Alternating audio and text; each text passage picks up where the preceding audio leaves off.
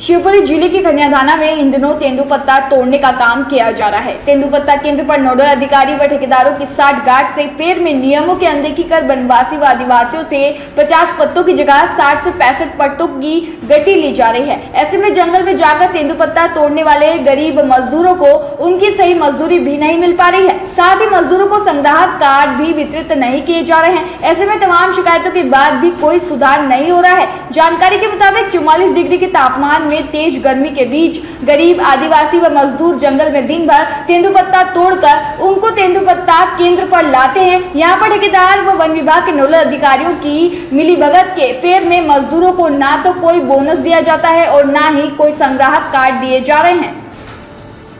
जो जो पत्ती डालने आते हैं। कार्ड इसलिए नहीं दिए कि कम कार्ड आए इस वजह से नहीं दिए। कितने कार्ड आए हैं? कार्ड सौ आए हैं कल पचास आए हैं।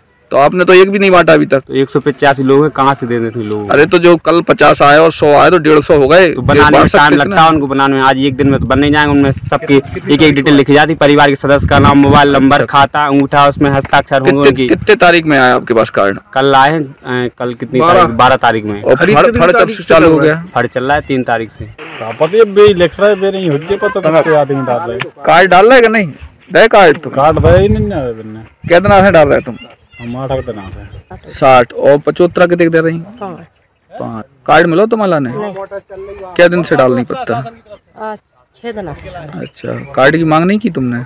की सब तो मेरा भी एक से ग्राफ है पाँच अच्छा जो कह रहे पचहत्तर देने आ है। और साठ पत्ता ही कौन न गई तुमसे? साठ फल मारने कई को कौन लगे साठ की गड्डी ले आओ। काना तुम आओ खनियाधाना से मुकेश प्रजापति की ये रिपोर्ट।